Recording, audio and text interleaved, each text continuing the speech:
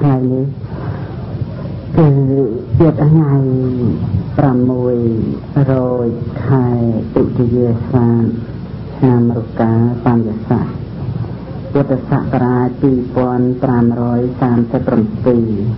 ផ្សាយអត្តសម្លេងធัวទី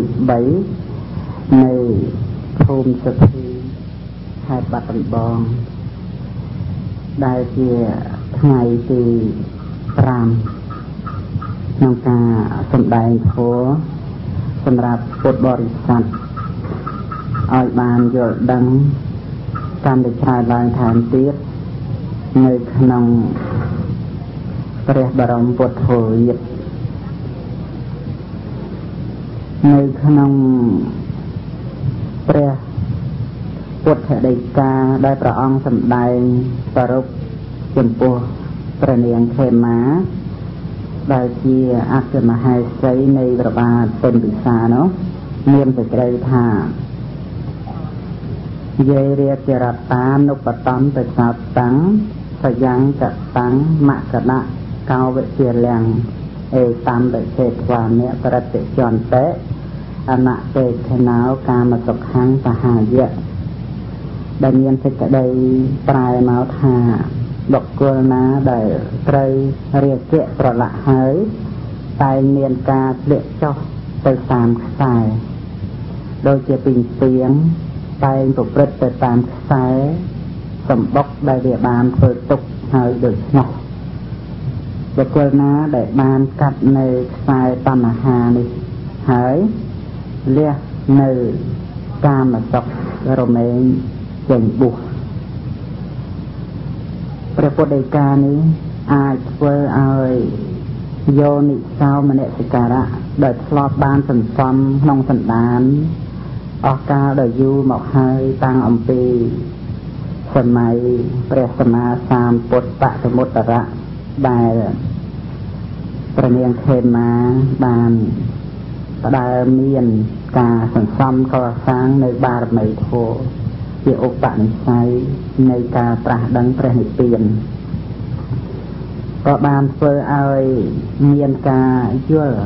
ដល់សភាពនៃសង្ខារធម៌ដែលមានការប្រព្រឹត្តទៅតាមហេតុតាមបច្ច័យ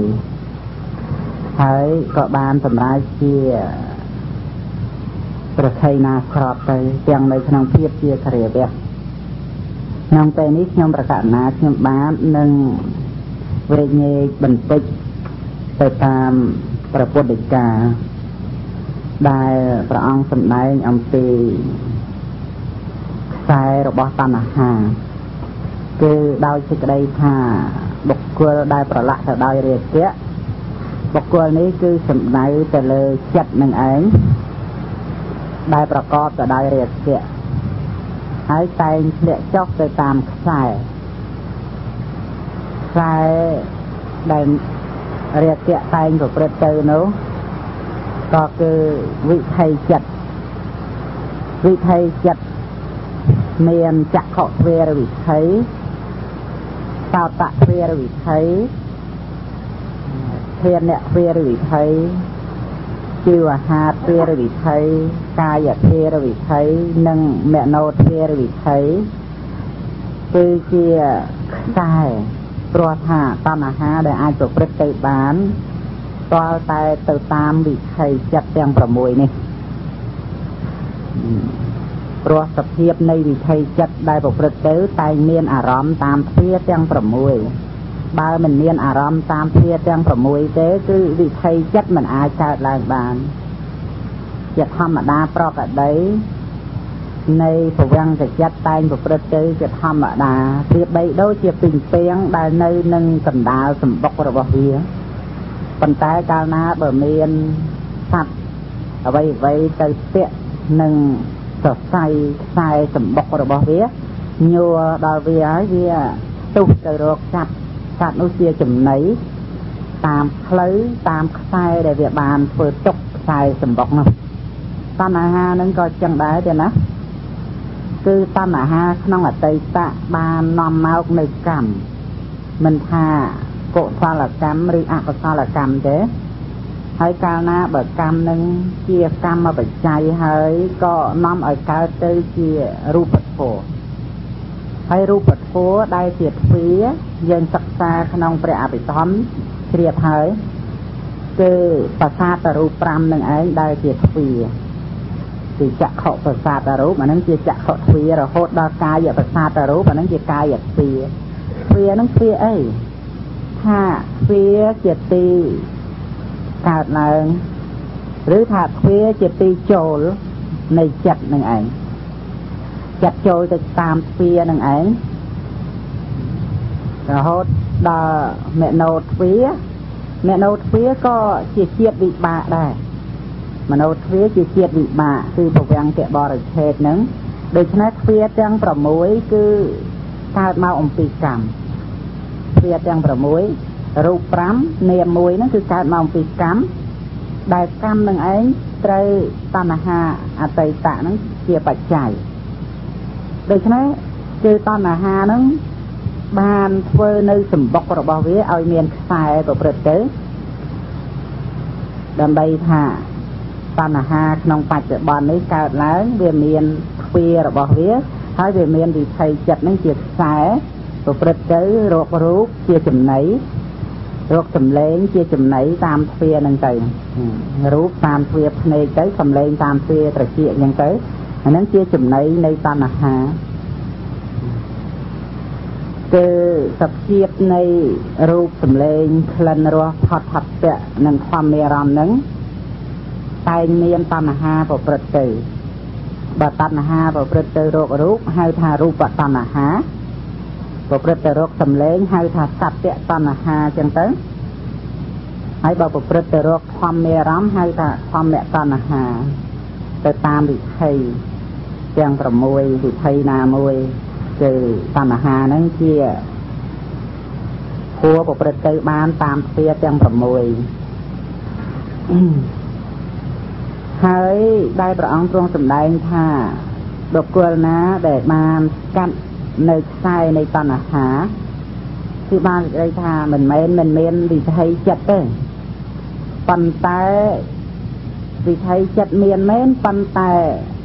តណ្ហាមិនអាចមានការប្រព្រឹត្តទៅបានតាមទ្វាដោយអំណាចអរិយមគ្គញ្ញាណកាត់ផ្ដាច់នៅខ្សែ ហើយក្នុងការលះបង់នៅតណ្ហាដំបូងគឺតណ្ហាដែលប្រកបដោយចិត្តហេមិនមែនលះនៅតណ្ហាបានម្ដងទាំងអស់ទេបានទាំងអស់គឺតលទៅដោយអរហត្តមគ្គតែជាដំបូងលះតណ្ហាដែលប្រកបទៅដោយចិត្តហេដែលក្នុងភាសាអភិធម្មថាលោភៈចិត្តហេកតៈសម្បយុទ្ធនោះ គឺជាលោភិចិត្តដែលប្រកបទៅដោយចិត្តហេនឹងត្រូវលះមុនដោយសោតាបត្តមៈ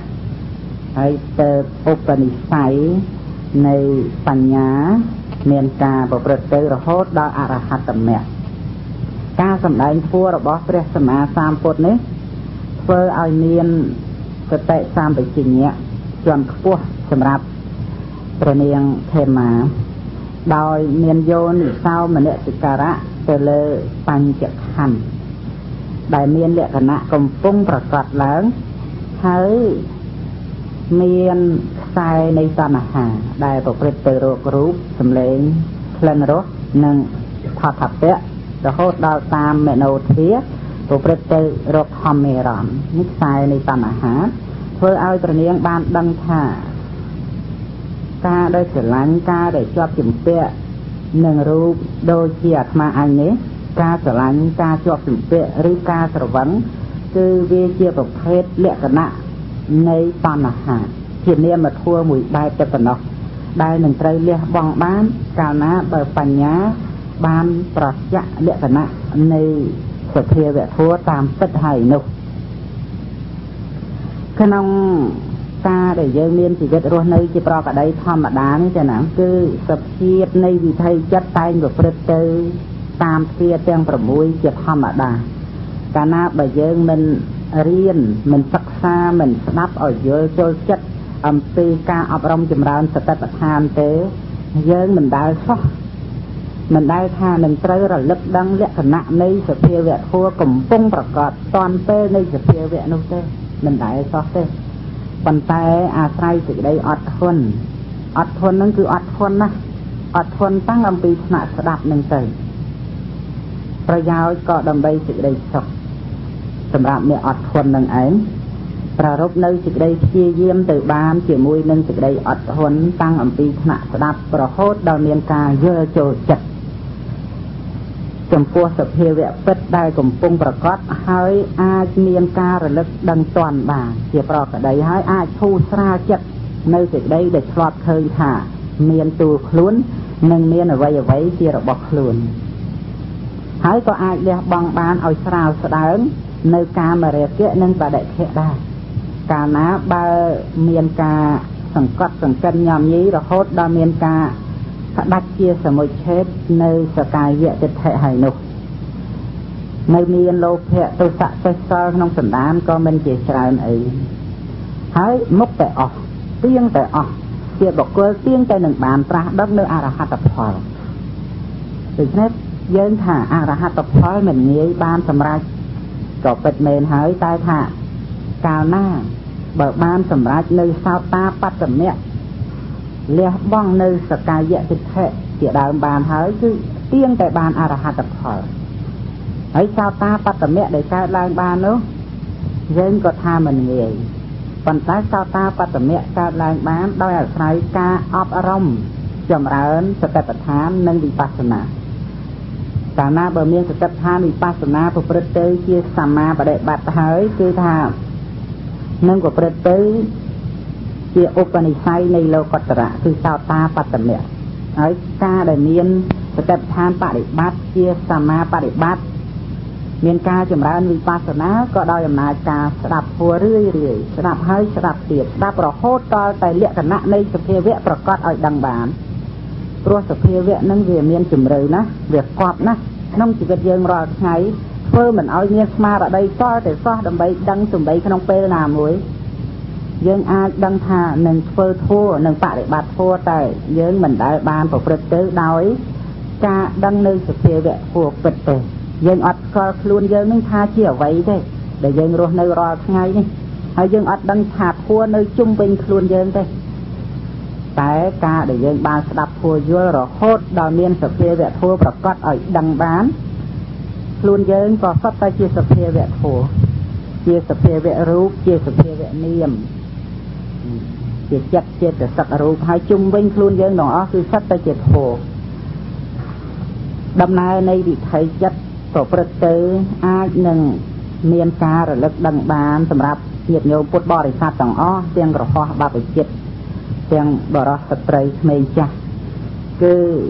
រូបដែលប្រកបឲ្យឃើញបានតលតែមានវិថីចិត្តតាមចក្ខុទ្វាបើមិនមានវិថីចិត្តតាមចក្ខុទ្វាទេ ធ្វើម៉េចនឹងរូបប្រកបឡើងបាននៅពេលដែលឃើញរូបគឺពេលហ្នឹងលក្ខណៈនៃនាមធម៌ផ្សេងគឺការដឹងការឃើញនៅរូបឯរូបមិនដឹងអ្វីទេប៉ុន្តែរូបដែលអាចប្រកបឡើងបានក៏ដោយអំណាចមានចក្ខុទ្វាឬវិថីចិត្តហើយបើមិនមានសតិសម្បជញ្ញៈរលឹកដឹងតាន់ពេលទេវាត្រូវមានតណ្ហាប្រព្រឹត្តទៅរករូបនោះណា បើមិនមានសតិសម្បជញ្ញៈតាន់ពេលទេតាមផ្លូវត្រចៀកក៏អញ្ចឹងដែរត្រូវមានតណ្ហាប្រព្រឹត្តទៅតាមខ្សែរបស់វាហ្នឹងរកសំឡេងជាចំណីរបស់វាតណ្ហានឹងប្រៀបដូចជាសត្វពីរពីអញ្ចឹងគឺថាវាចាប់នៅចំណីរបស់វាតែអាស្រ័យសតិសម្បជញ្ញៈប្រកបទៅដោយយោនិសោមនសិការៈល្អទៅលើសភាវៈដែលជារបស់មានពិតរូប ក៏កំណត់ដឹងបានជារូបធម៌សំឡេងក៏កំណត់ដឹងបានគឺរូបជារូបធម៌ជាសភាវៈធម៌នាមជានាមធម៌ក៏ជាសភាវៈធម៌គឺសភាវៈធម៌របស់ដែលកើតឡើងហើយមានពិតគឺរូបធម៌និងនាមធម៌នឹងឯងប្រកដីនៃជីវិតរបស់យើងគ្រប់គ្នានឹងមានការ ឃើញរូបឮសំឡេងដឹងក្លិនដឹងរសដឹងផតពៈជាធម្មតាប៉ុន្តែថានេះគឺជាវិថីចិត្តតែប៉ុណ្ណោះការដែលមានវិថីចិត្តដឹងនៅរូបរូបហ្នឹងក៏ប្រកបឡើង ហើយវិថីចិត្តក៏អស់ទៅដោយមិនអាចបញ្ឈប់បានទេ គឺវាមានការប្រព្រឹត្តទៅតាំងអំពី បញ្ញទ្វារវិថីចិត្តអាហ្នឹងគេហៅថាបឋមវិថីតាមបញ្ញទ្វារកើតឡើងដំបូងនឹករាវរោគអារម្មណ៍អញ្ចឹងទៅជារូបសម្លេងក្លិនរសថោថពៈអញ្ចឹងទៅហើយបន្តរហូតដល់ទៅបញ្ញវិញ្ញាណជាចក្ខុវិញ្ញាណឬជាសោតវិញ្ញាណឬឃានវិញ្ញាណឬជីវហាវិញ្ញាណឬកាយវិញ្ញាណតទៅអញ្ចឹងហើយសម្បដិឆន្ទៈរលត់ទៅដល់សន្តិរណៈសន្តិរណៈរលត់ទៅ ដល់ខណៈចិត្តតតរហូតដល់សក្ខេលំបណៈហើយក៏មិនអាចដើម្បីបញ្ឈប់បានទេវាតែងអស់ទៅលាក់ចុះកាន់ទៅវាំងបានជាលោកហៅថាជាបរិតធัวគឺជាធัวតូចឆ្មាព្រោះមិនបានតាំងនៅច្រើនដូចជាអបណាជីវ័នទេនេះគឺជាលក្ខណៈអនត្តាធัวដែលត្រូវដឹងថាក្នុងជីវិតប្រចាំថ្ងៃវាមានធัว មានការកើតហើយមិនអាចបញ្ឈប់បានជាធម្មតាហើយដែលត្រូវដឹងធัวគឺធัวជាប្រកដីនឹងឯងដោយអត់មានទៅស្វែងរកធัวឯណាសម្រាប់ដឹងទេការសម្ដែងធัวរបស់ព្រះពុទ្ធនឹងដើម្បីឲ្យយើងយល់ចូលចិត្តធัวនឹងអញ្ចឹងហើយរូបដែលប្រកាសឡើងឲ្យឃើញឲ្យដឹងតាមចក្ខុទ្វានឹងកាលណាបើវិថីចិត្តតាមផ្លូវភ្នែកនឹងអស់ទៅហើយរូបនឹងក៏អស់ដែរមិនមែនថិតថេរទៀងទាត់នៅទេ រូបនឹងក៏អស់ទៅដែរបានសេចក្តីថាមិនបាននៅដើម្បីជារបស់អ្នកណាតាមដែលយើងធ្លាប់សម្គាល់ថារូបនឹងជារបស់យើងថិតថេរទៀងទាត់ទេវិថីចិត្តនឹងប្រព្រឹត្តទៅតាមទ្វាទាំង6ហ្នឹងសំឡេងដែលប្រកាសឡើងក៏ដោយសារមានសោតទ្វារវិថីហើយអស់ទៅហើយ សំឡេងហ្នឹងក៏បាត់ទៅដែរដោយសារការអស់ទៅនៃសោតទ្វារវិថីហ្នឹងដូច្នេះការដែលយើងស្រឡាញ់ជាប់ជំពាក់នឹងរូបសំឡេងក្លិនរសផតពៈហ្នឹងក៏ដោយសារអំណាចវងវែងភ្លេចសតិមិនមានយោនិសោមនសិការៈទៅលើរូបសម្លេងក្លិនរសផតពៈដែលប្រកាសបានត្រឹមតែមួយជួរនៃវិថីចិត្តនោះ ញាតិញោមពុទ្ធបរិស័ទទាំងឡាយយើងគឺសុទ្ធតែជាអ្នកដែលត្រូវស្លាប់ទាំងអស់គ្នាគឺថានឹងត្រូវស្លាប់ដោយដំណើរនៃវិថីចិត្តនេះ ប្រព្រឹត្តទៅរកចតិឬថានាំមកនៅចតិបដិសន្ធិម្ដងមានចតិតែម្ដងប៉ុន្តែមិនដែលថាមិនមានម្ដងមែនគឺទៀងពិតប្រកប ជានឹងកើតមានឡើងដោយអំណាចវិថីចិត្តដែលចេះតែកើតហើយអស់ទៅកើតហើយអស់ទៅកើតហើយអស់ទៅនឹងយប់ថ្ងៃយប់ថ្ងៃពេលណាមួយនឹងនាំមកនៅចតិចិត្តដូច្នេះដំណើរជីវិតរបស់យើងដែលយើងបានដឹងអ្វីអ្វីទាំងអស់នៅជុំវិញខ្លួនយើងទាំងបានដឹងនៅធัวជាខាងក្នុងដែលជាខ្លួនយើងដែលផងនោះគឺសភាពនៃវិថីចិត្តនឹងប្រព្រឹត្តទៅរកចតិ ហើយសូមញាតិញោមជ្រាបថាអ្វីអ្វីដែលយើងប្រកាន់ថាជារបស់យើងនោះគឺដោយអំណាចវិថីចិត្តដែលកើតឡើងនឹងទេតាបើមិនមានវិថីចិត្តកើតឡើងទេយើងអត់មានប្រកាន់អ្វីថាជារបស់យើងទេ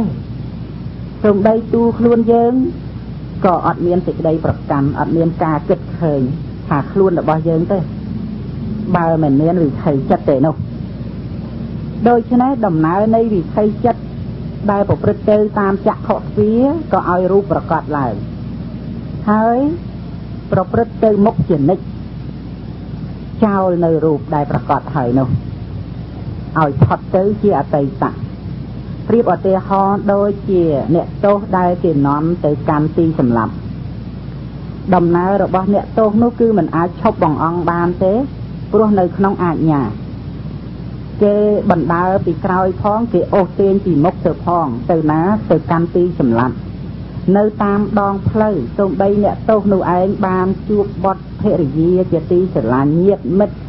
បងប្អូនមេត្តាបិតាយ៉ាងណាក៏ដោយក៏មិនអាចដើម្បីសន្តានាចរចា ឬថាអ្នកទោសនោះក៏ព្រឹត្តទៅដោយចិត្តសប្បាយរីករាយ ថាអញបានជួបកូនអញហើយអញបានជួបភរិយាអញហើយអញបានជួបមេត្តាបិតាញាតិមិត្តអញហើយអត់ប្រព្រឹត្តទៅដើម្បីសេចក្តីសប្បាយរីករាយទៅកើតទេព្រោះអីព្រោះការជួបនោះមិនបានយឺនយូរឡើយមិនបាននៅរួមរស់ជាមួយគ្នាឲ្យបានសប្បាយយូរឡើយគឺគ្រាន់តែបានជួបទៅតាមដំណើរដែលមិនបានឈប់ព្រោះនៅក្នុងអាជ្ញារបស់គេ ដូច្នេះមិនមានចិត្តរំភើបសបាយរីករាយទេមានតែការប្រព្រឹត្តទៅដើម្បីស្រែកលាកូនស្រែកលាភរិយាស្រែកលាមេត្តាបិតាប្រព្រឹត្តទៅដើម្បីថាគេនឹងសម្លាប់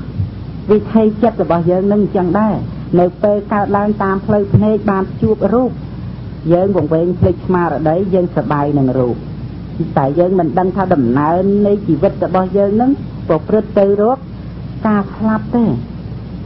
យើងមិនបានបញ្ឈប់នៅដើម្បីជួបជុំជាមួយរូបនឹងបានយូរទេអត់មានបងអង្គទេខណៈចិត្តប្រព្រឹត្តទៅមុខរហូតលះបង់នៅរូបនោះចោលទៅដូច្នេះការដែលមានសតិសម្បជញ្ញៈរលឹកដឹងលក្ខណៈនៃវិថីចិត្តដែលប្រព្រឹត្តទៅក្នុងការដឹងរូបហើយនឹងមានការរលឹកដឹងលក្ខណៈនៃរូបដែលប្រកបឡើង បានត្រឹមតែមួយជួរនៃវិថីចិត្តតែប៉ុណ្ណោះក៏រមែង មានសេចក្តីស្ងប់ស្ងាត់ដោយមិនមានការប្រព្រឹត្តទៅដើម្បីថានឹងបានរូបនោះជារបស់យើងថិតថេរដើម្បីថាយើងនឹងបាននៅរួមរស់សប្បាយរីករាយជាមួយរូបនោះបានយូរអង្វែងទេមែនទេនេះវាផ្ទុយគ្នាអំពីការដែលយើងស្លាប់សប្បាយរីករាយក្នុងរបស់ដែលជាទុក្ខព្រោះរបស់ណាដែលមិនទៀងជាទុក្ខរបស់នោះជាទោសតាមពិតជីវិតរបស់យើងជាប់ជាមួយនឹងខណៈចិត្ត ខណៈចិត្តប្រព្រឹត្តទៅរកចតិនាំមកនៅចតិដូច្នេះសំឡេងដែលប្រកាសឡើងបានត្រឹមតែមួយជួរនៃវិថីចិត្តតែប៉ុណ្ណោះហើយគឺថានឹងត្រូវអស់ទៅព្រោះដំណើរនៃវិថីចិត្តទៅមុខទៀតមិនមែននៅតែដឹងសំឡេងនោះឯណាទោះបីវិថីចិត្តក្រោយដឹងនៅសំឡេងក៏ជាសំឡេងផ្សេងដែរនៅតាមដំណើរផ្លូវនៃវិថីជីវិតដែលប្រព្រឹត្តទៅរកចតិតើគួររីករាយនឹងរូបនឹងទេ សំឡេងក្លិនរសផតថពៈក៏ដូចគ្នាដែរបានត្រឹមតែប្រព្រឹត្តទៅក្នុងការលះបង់ហើយទៅលះបង់ហើយទៅលះបង់ហើយទៅសត្វលោកគឺថាត្រូវលះបង់នៅរបស់គ្រប់យ៉ាងហើយទៅយ៉ាងនេះនេះគឺជាដំណើរនៃជីវិតរបស់យើងទាំងអស់គ្នា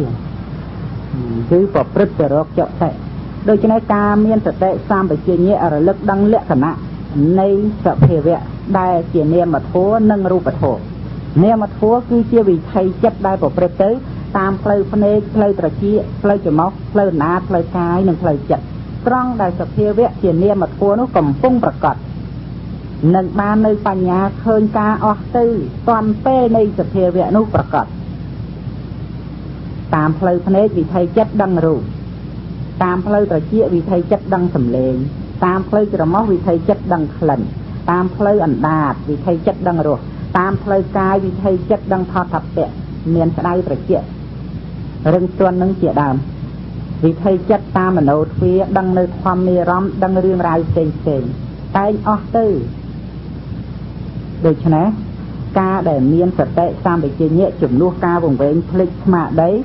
នាំឲ្យមានការអប់រំចម្រើននៅបញ្ញាក្នុងការដឹងច្បាស់ឡើងច្បាស់ឡើង ចំពោះជីវិតរបស់យើងគ្រប់គ្នាគឺជាដំណើរប្រព្រឹត្តទៅនៃសង្ខារធัวដែលមិនអាចទីពឹងបានរូបធัวក៏យ៉ាងនោះដែរនឹងមានការអស់ទៅព្រោះថាវាប្រកាសឲ្យឃើញក៏ដោយអំណាចវិថីចិត្តប្រកាសឲ្យលឺក៏ដោយអំណាចមានវិថីចិត្តបើវិថីចិត្តប្រព្រឹត្តទៅមុខជានិច្ចយ៉ាងនេះគ្រប់ពេលមិនអាចដើម្បីថានឹងសបាយរីករាយថិតថេរនៅជាមួយនឹងរបស់ ដែលជាទីស្រឡាញ់ជាដើមនោះបានទេនេះគឺជាការសម្ដែងអំពីយោនិសោមនសិការៈគឺការធ្វើទុកក្នុងចិត្តដោយល្អិតល្អន់ចំពោះសភាវៈក្នុងជីវិតរាល់ថ្ងៃដើម្បីថានឹងមានការបន្ថយលះបង់នៅក្រសែរបស់តណ្ហាដែលដូចជាពីងពីងដែលនៅនឹងកណ្ដាលសម្បុកហើយរងចាំតែធ្លាក់ទៅតាមក្រសែនៃសម្បុកដែលវាបានធ្វើទុកចាប់យកនៅចំណី ហើយបរិភោគទៅនេះគឺជាការកាត់ផ្ដាច់នៅក្រសែរបស់តណ្ហានឹងឯងការជាប់នៅប្រគាថាដែលធ្វើឲ្យព្រះនាងខេមាបានសម្រេចជាប្រខ័យណាស្របហើយលុះពេលត្រឡប់ទៅកាន់ព្រះបរមរាជវាំងវិញក៏ព្រះនាងទ្រង់ស្ថិតឈរដែលជាអាការៈមួយបង្ហាញប្រាប់ទៅដល់ប្របាទទិនវិសាប្របាទទិនវិសាទ្រង់សួរថា ព្រះនាងបានទួតឃើញព្រះសម្មាសម្ពុទ្ធហើយឬហើយបានគាល់ព្រះអង្គហើយឬព្រះនាងខេមាមានព្រះសាវន័យថាខ្ញុំព្រះអង្គម្ចាស់បានឃើញព្រះសម្មាសម្ពុទ្ធព្រះដ៏មានរុក្ខដោយល្អជាការសម្ដែងបញ្ជាក់ទៅលើបញ្ញាចក្ខុដែលបានឃើញព្រះសម្មាសម្ពុទ្ធព្រោះការឃើញព្រះសម្មាសម្ពុទ្ធគឺដោយសារបានឃើញធម៌ ការឃើញធម៌ដោយសារការបដិបត្តិធម៌បើមិនមានការបដិបត្តិធម៌ឃើញនៅសច្ចធម៌គឺជីវិតប្រចាំថ្ងៃទេយើងក៏មិនដឹងថាព្រះសម្ពុទ្ធដែលត្រាស់ដឹងនៅសច្ចធម៌នោះយ៉ាងម៉េចដែរក្នុងការដែលប្រនាងខេមាសុំបរិយាជាអនុញ្ញាតដើម្បីបួសព្រះបាទទិនវិសាក៏ព្រះអង្គទ្រង់អនុញ្ញាតឲ្យបួសនៅក្នុងសំណាក់វិខណីទាំងឡាយហើយនៅពេលដែលព្រះអង្គគង់នៅក្នុងវត្តចេត វនារាមព្រះអង្គកាលដែលស្ថាបនាភិក្ខុណីទាំងឡាយឲ្យនៅក្នុងតំណែងជាកម្ពុជាលើភិក្ខុណីនោះព្រះអង្គទ្រង់ស្ថាបនាព្រះនាងខេមាភិក្ខុណីឲ្យជាកម្ពុជាលើភិក្ខុណីទាំងឡាយនឹងផ្នែកខាងអ្នកមានបញ្ញាច្រើននេះគឺជាការសម្ដែងបញ្ជាក់ទៅលើលក្ខណៈនៃការស្ដាប់ធម៌ហើយអាចមានវិបស្សនាកើតឡើងពិចារណាសង្ខារធម៌ដែលជាទុក្ខ ហើយអាចបណ្ដុះនៅមគ្គផលចន្ទខ្ពស់បានដោយមិនមានការតាំងចិត្តដើម្បីបានមគ្គផលទេគឺជាការស្ងប់នៅតណ្ហាត្រូវការមគ្គផលតែដោយអំណាចវិបស្សនាគឺថាជាឧបនិស្សយបច្ច័យនៃលោកតរៈកុសលមិនមែនរឿងតណ្ហាទេដែលត្រូវបានសម្រេចមគ្គផលនោះតែអាស្រ័យមានបញ្ញាដែលកើតមកអំពីការស្ដាប់ធម៌យល់ចូលចិត្ត ញាតិញោមពុទ្ធបរិស័ទទាំងឡាយការអប់រំសន្សំនៅសតិសម្បជញ្ញៈជាប្រកដីរាល់ថ្ងៃនេះគឺជាដំណើរនៃកុសលធម៌ដែលមានការប្រព្រឹត្តទៅព្រោះមានហេតុមានបច្ច័យមិនមែនចាំបាច់តល់តែយើងចិត្តស្លាប់បានយើងនឹករកធัวដើម្បីសូត្រដើម្បីទន្ទិញឬដើម្បីថាសុំស្ដាប់ធัวអំពីអ្នកដតីនោះទេតែ កុសលធម៌ដែលបានអប់រំហើយចម្រើនហើយនឹងជាឧបនិស្សយបច្ច័យយ៉ាងណាឲ្យកុសលធម៌កើតឡើងសូម្បីនៅពេលចិត្តស្លាប់ដូច្នេះធម៌ទាំងឡាយរមែងប្រព្រឹត្តទៅតាមហេតុតាមបច្ច័យយ៉ាងនេះឯងនៅក្នុងគម្ពីរខតកនិកាយថេរីគាថាក្នុងបញ្ញកនិបាតត្រង់គាថាទី1 គឺជាគាថារបស់អញ្ញតរាថេរីអញ្ញតរាថេរីនេះគឺជាម៉ែនំរបស់ព្រះនាងពជាបតិកោតមីកាលដែលព្រះនាងពជាបតិកោតមីចេញបួសហើយព្រះនាងក៏បួសដែរក្នុងការបួសអស់25ព្រះវស្សាមិនដែលបានដល់នៅសេចក្តីស្ងប់ចិត្តសូម្បីតែមួយផ្សត់ក្រចកទេ តែមានចិត្តប្រព្រឹត្តទៅកាន់អារម្មណ៍ទាំងឡាយផ្សេងផ្សេងដោយអកុសលវិតកៈប៉ុន្តែនៅពេលមួយនោះបន្ទាប់អំពីបួសបាន25ឆ្នាំហើយក៏បានទៅកាន់សំណាក់ព្រះនាងធម្មទនីភិក្ខុនីដែលជាកម្ពុជាភិក្ខុនីផ្នែកខាងធម្មកថាព្រះនាងអញ្ញតរាធេរីក៏បានស្ដាប់នៅធម៌ទេសនារបស់ព្រះនាង ធម្មទនីភិក្ខុនីដែលព្រះនាងធម្មទនីភិក្ខុនីសម្ដែងបញ្ជាក់លក្ខណៈខណ្ឌធាតនិងអាយតនៈក៏បានបញ្ជាក់ច្បាស់ថាខ្លួនឯងនឹងគ្មានអ្វីក្រៅអំពីខណ្ឌធាតនិងអាយតនៈសំបីនៅពេលកំពុងស្ដាប់ក៏ជាការប្រកាសឡើងនៅខណ្ឌធាតអាយតនៈហើយក៏បានលះបង់នៅ កិលេសទាំងឡាយបានទៅជាព្រះអរហន្តទៅ នៅពេលដែលស្ដាប់ព្រះធម៌របស់ព្រះនាងធម្មទនីភិក្ខុនី